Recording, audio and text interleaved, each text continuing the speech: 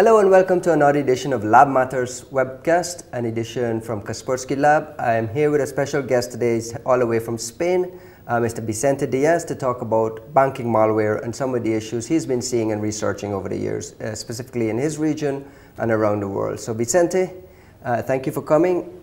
Thank you. So talk to us a little bit about, in general terms, uh, what are some of the issues you're seeing around banking malware that's specific to Spain and in a little bit, if you can explain a little bit how that's different from what you're seeing in other parts of the world, for instance, in the USA or some other parts of Europe. Okay, banking malware is one of the most prevalent threats to everybody because it tries to steal your money from your bank. So it's very worrisome for everybody to be infected with this kind of malware. Um, it is usually spread using exploit kits. Right. They are distributed in a lot of servers around the world so if you go into this exploit kit, you just co-infect it depending on your countermeasures in your computer.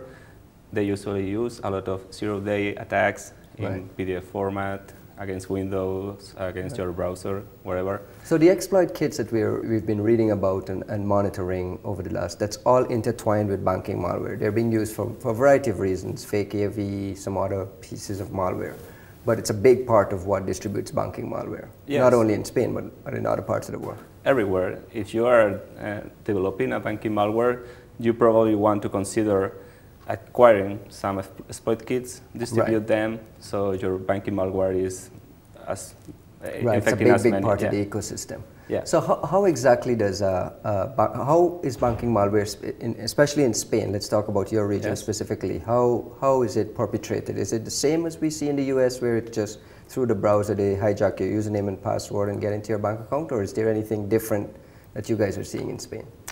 There are there are common things among all different banking malwares, but in each different region, the banking malware adapts itself for being the most uh, dangerous as possible. Right. Also, they only go so as sophisticated as they need at a minimum basis. So they don't develop many advanced features if they don't need to. Uh, for instance, we see different levels of sophistication in banking malware, let's say in the U US, in right. Brazil, in China, and in Europe, only depending on the countermeasures that the banking application is performing against this kind of fraud. Right, so the, the level of sophistication is directly attributable to some of the security measures banks have in place. Yes, it's like an ecosystem. They only go one step further than the defenses, right. even if they have the capability of going further than this.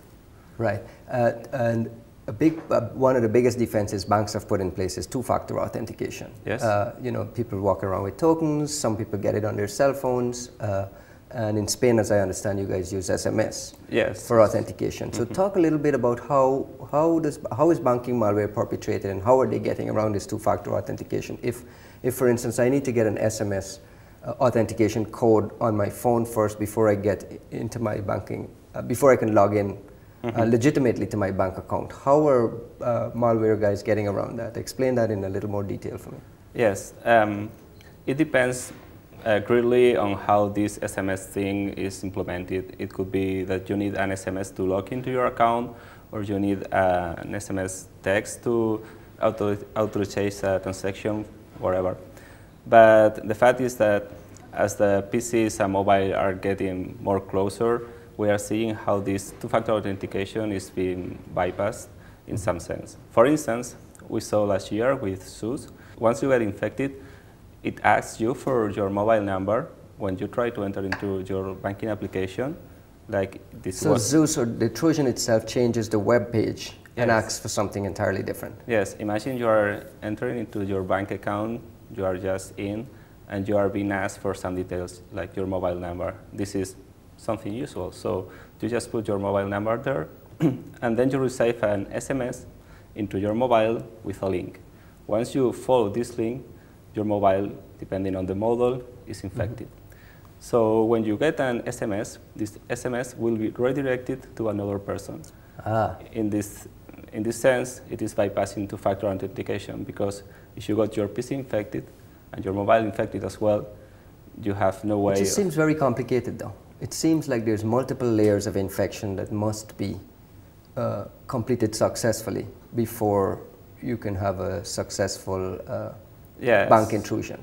Because you have to infect the user, then you have to infect his mobile device, Yes. and then you have to tie those two together. Is that, am I get am I getting it accurately? Yeah, uh, uh, these are like proof of concepts trying to Okay. bypass this kind of defenses. But I expect this to be more and more uh, Prevalent, Yeah. prevalent in the future because different devices can have the potential of Right. infect other devices that they are connected to. So, for instance, if you connect your mobile device into your computer just to download some pictures or Right.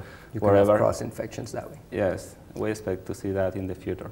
Are all banks in Spain and, and throughout some parts of Europe implementing this two-factor authentication using SMS, or are they using different different techniques? How are banks responding to this threat? The best response could be, for instance, using a token, a Right. physical dispositive that you connect into your computer. But it depends greatly on the bank, on how many customers they have. So it is costly for them to develop such a solution. SMS is pretty uh, cheap, so it's okay for them to distribute it among their customers. Uh, it's easy for all the customers because they have the mobile and they don't forget the token Right, wherever. But in different countries, they are taking different measures. And it's more like a best effort of the banking industry in every country to defend against these threats. For instance, we see many different defenses in the UK than in Spain. It depends mainly on how the banking industry is losing money with fraud and how they want to protect the customers, what they think that won't be very uh, annoying for the customers and things like that. Something as simple as possible. Let's Yes, just end up quickly, uh, wrap it up quickly with one, one bit of advice you give to online bankers, in- let's say in Spain, online bankers in Spain. What's the one thing they should absolutely be careful with? What's, what's the one tip you want to leave them with? I will say that for banking industry, it's very good advice just to go for the best solution available in the market and to educate their users as much as possible. They are not giving any figures of how much they are losing. They are not making it public, so everybody thinks that everything is safe. But probably this is not the best solution for the customers to be aware of this kind of fraud. Thank you very much, Vicente. And thank you for watching another edition of Lab Matters, a webcast from Kaspersky Lab.